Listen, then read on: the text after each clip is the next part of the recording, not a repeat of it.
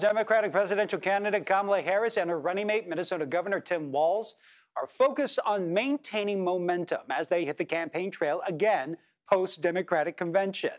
And there's also plenty in store this week on the Republican side for Donald Trump and his running mate, Senator J.D. Vance.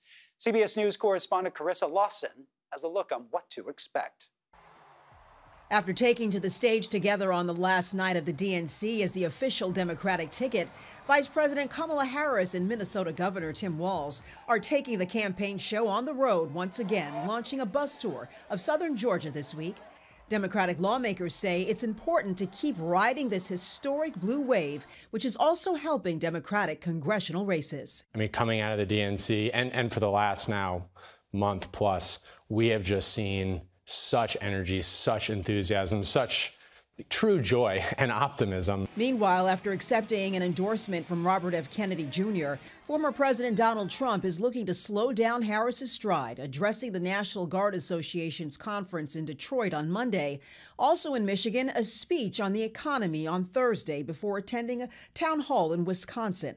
On Friday, he's back in battleground Pennsylvania for a rally. Republican lawmakers hope Trump will stay focused on what they believe voters need to hear. It is our job to expose the real records of Kamala Harris and Tim Walz.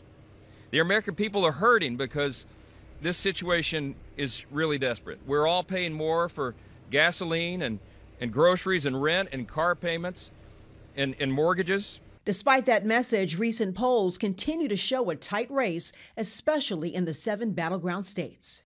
And the Harris Walz campaign said on Sunday they've broken fundraising records $540 million in only a month since it launched. And in addition to their bus tour in Georgia, Harris and Walz are expected to tape their first joint interview. That will happen sometime next week.